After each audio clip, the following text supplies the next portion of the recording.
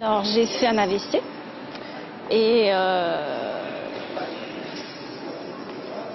euh, Mylène cherche ses mots. Pendant 12 ans, elle était aphasique sans le savoir.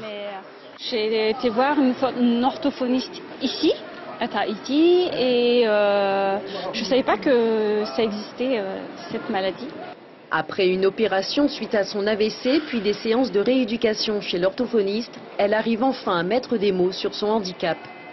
Pour lire, comprendre, euh, compter aussi, parce que c'est euh, comme un enfant, on, arrive à plus rien savoir du tout, parce qu'on a tous, euh, comment dire, des parties dans le cerveau qui, qui se sont déconnectées. Déconnecté, c'est le terme qui revient le plus souvent pour parler de l'aphasie. Alors j'ai fait... Là, tout d'un coup, je me suis... J'ai plus rien dit, j'ai dit waouh Vaillaré était professeur de français et d'histoire géo avant son AVC. Ils sont... Ça a dur. Oui, oui. C'est...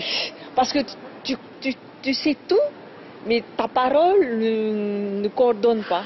Tu ne sais pas comment ça se fait, euh, le machin ça connecte plus. En Polynésie, 400 personnes par an sont victimes d'AVC, 25% d'entre elles sont touchées par l'aphasie, cette perte totale ou partielle du langage. Il y a des aphasies qui touchent sur l'expression, donc celles qui concernent la difficulté à parler, mais il y a également des aphasies de compréhension, celles qui concernent la difficulté à comprendre le langage des autres.